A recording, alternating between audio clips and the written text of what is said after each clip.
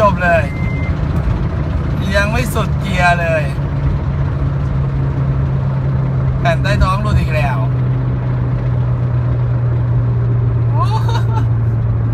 GK นี่ทุกคันเลยนะ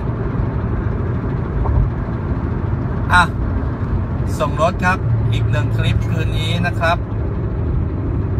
GK MT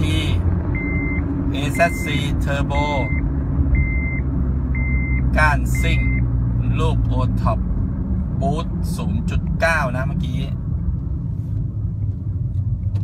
ส่งรถกันแค่ 0.8 0.9 พอแผ่นหลุดไปแล้วสิ จะวิ่งได้ไหมเนี่ย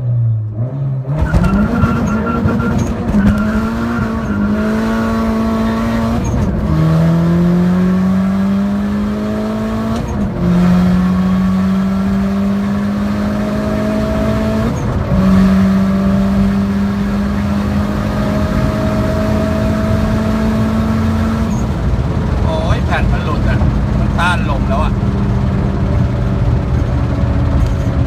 โอเค ส่งรถเรียบร้อย